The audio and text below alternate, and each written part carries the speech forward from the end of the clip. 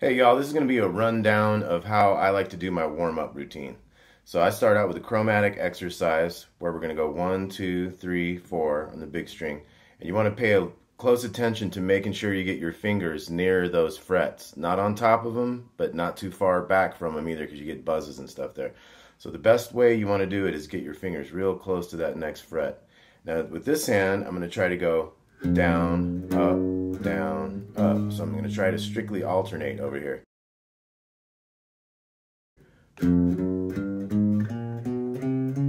Just go down the strings.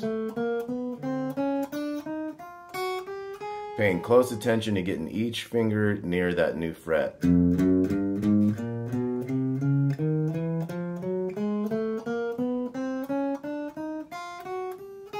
Now you could go back right there, start with the down again.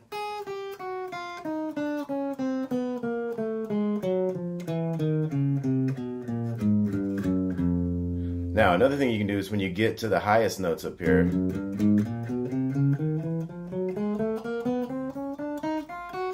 can take it up one and come back. That way you keep moving up the neck. You can make this a longer exercise and you can get used to all the different widths of the frets. Get into a steady little pace. One thing to mention also is that you, you definitely don't want to go like one, two, three, four, and then have a pause and then go to the next string. You want to keep this like rhythmically even.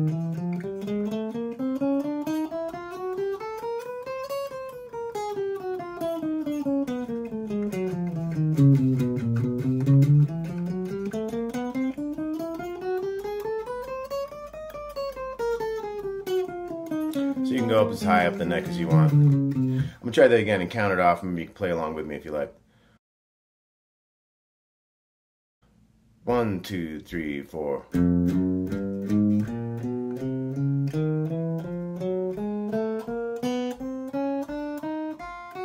Go up one.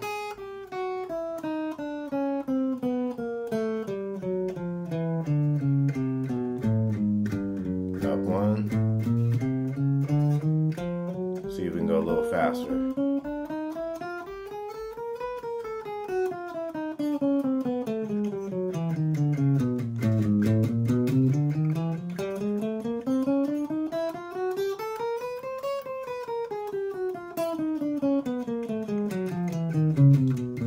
But that is really good for your coordination between the two hands, really good for your right hand picking, and obviously it's working all your fingers, getting them warmed up. So the other chromatic exercise I like to do, Go one and then two on the string below, and then back to the big string three, and then down a string to the four. And then you're gonna go to the fifth string and do the same. One, two, three, four.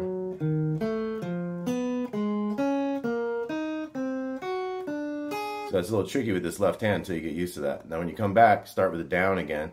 Down, up, down, up, and I'm starting on the little string going to the, to the second string.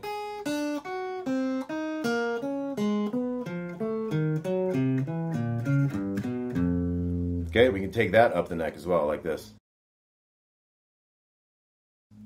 One, two, three, four.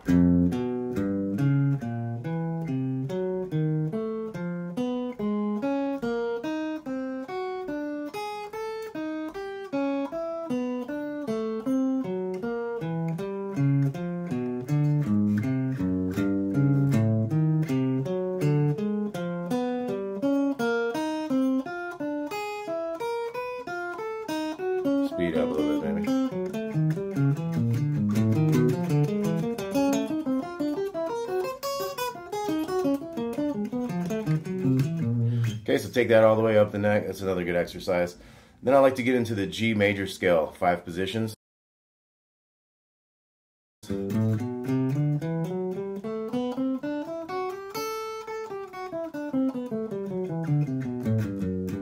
what I like to do with them also, besides just play the scale up and down, is do the thirds exercise.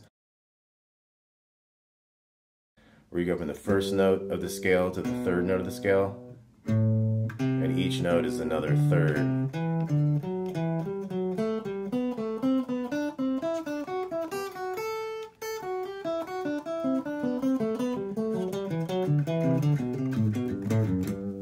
So then I'll also do, I'll do like all the positions of that, and then I'll come back and do these fours. But while I'm on this first position, I'm going to show you the fours too. So one, two, three, four. It's just four up the scale, and then back to the second note, up four from it. So.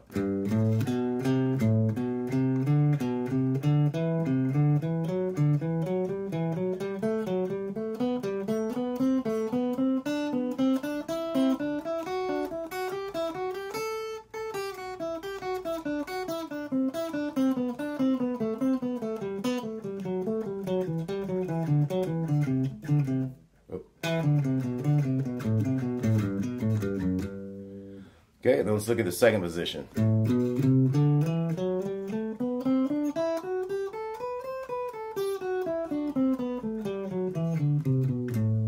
And if you need a more like slowed down breakdown of these uh, major scale positions, I have another lesson video on that. Uh, the G major scale five positions. So once again, this is the second one. I'm going to go ahead and do the, um, I'll do it one more time.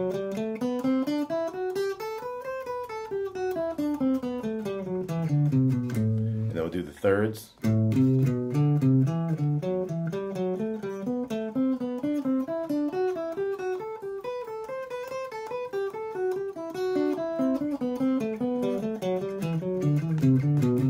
then we'll do the fours.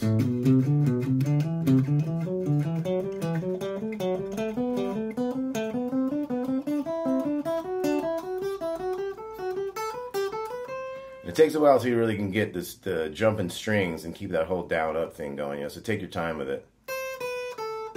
Down up, down up, down up, down up, down up, down up, down up, down up.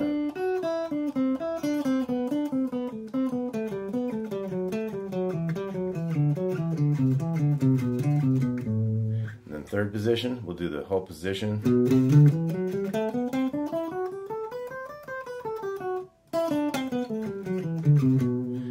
Thirds.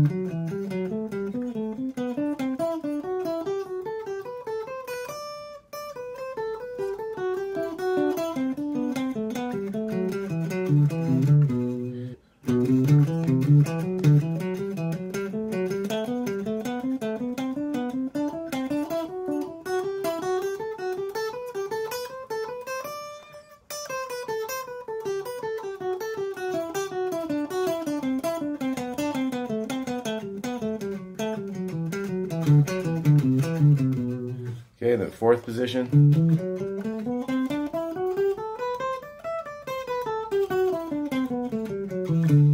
Do the thirds.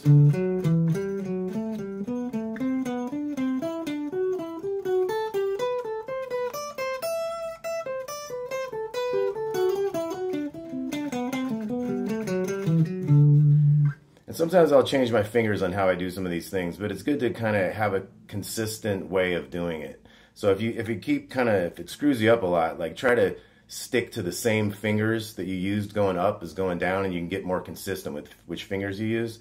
And then the more you do these, the more you improvise with these things, you can you can kind of change fingers and not get lost. So sometimes you know I'll go one way, and I'll, sometimes I'll go the other way.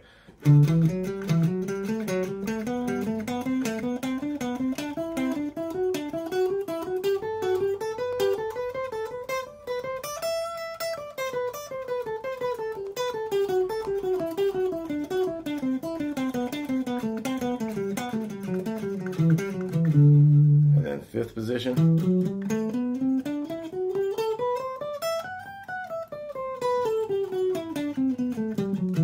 Do the thirds.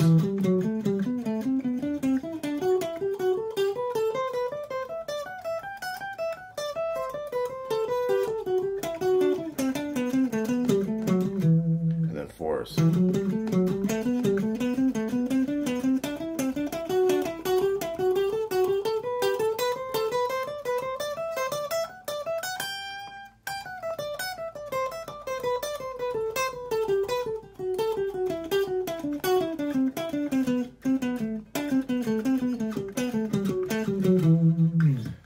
That's the exercises and stuff I do for those positions in G. You might mix it up and do like F sharp, you know.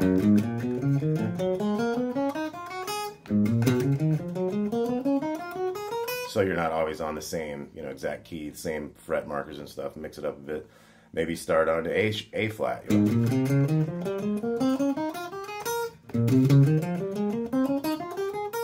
And etc.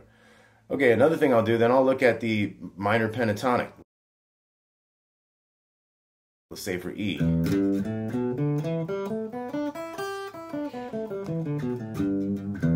I'll do the flat fifth in there also. And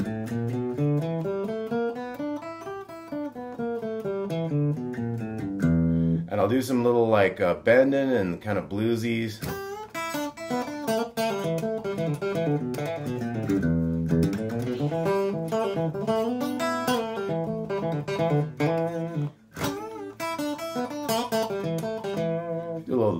It up a bit, you know, the second position of pentatonic minor.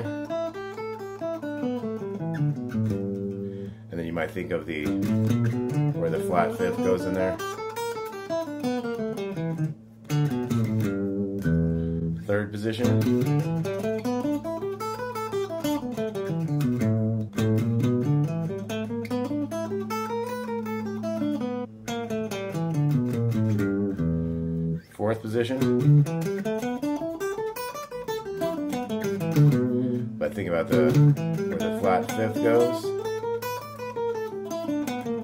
Fifth position.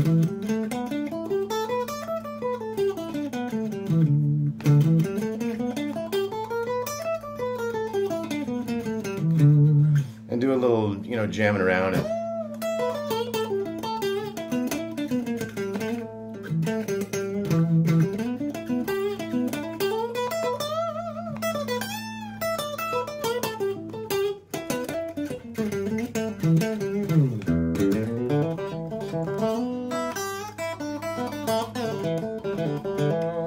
So by doing all that, I'm getting my, I'm all warmed up on my right hand. I got my down up picking going good. I'm gonna be able to, be able to improvise and move around the neck well, and all these fingers are working. I've thought about my different scale shapes, and you know, when you're improvising, you want you got to be able to like visualize those whole shapes of those positions and everything to really be able to see where you want to go and to be able to move in from others into others, you know, fluently. So basically, that's what I do when I when I get a chance to warm up. I'll go through those chromatic exercises. I'll move them all the way up the neck. I'll really concentrate on the down up picking. I'll go through the five major scale positions and do those thirds exercises and four notes in a row exercise. Then I'll go into my pentatonic positions and with the flat fifths in there, and I'll do some like bending.